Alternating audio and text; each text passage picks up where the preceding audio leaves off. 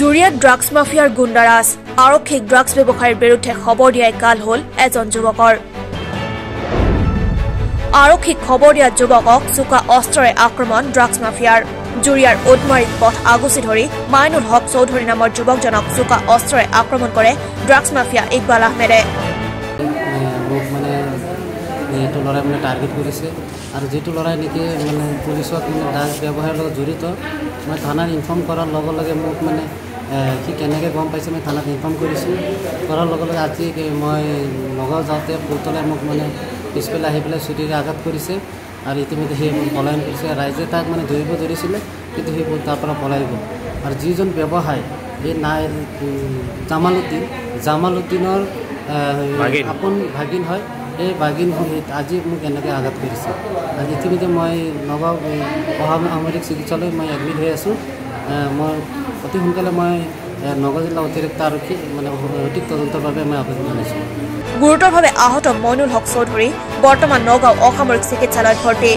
ঘটনাস্থলীত আৰক্ষী উপস্থিত হৈ আক্ৰমণকাৰী যুৱকজনক বিচাৰি অভিযান অব্যাহত ৰাখিছে যদিও আটক কৰিবলৈ সক্ষম হোৱা নাই। জুৰিয়াৰ পৰা ৰাণা আহমেদৰ report news nest.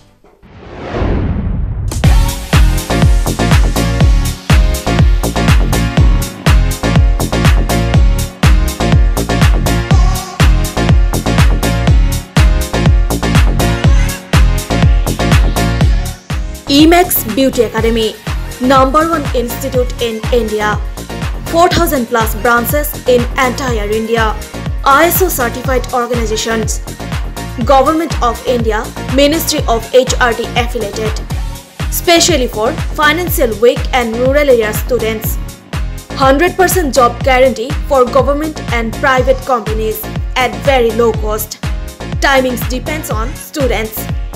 High qualified professional trainer. Food and accommodation available. Training will be on saloon or professional saloon. For details, please call 98540-52622 or visit Emax Beauty Academy, KD Guest House, first floor, opposite HDFC Bank, Hatigao Main Road.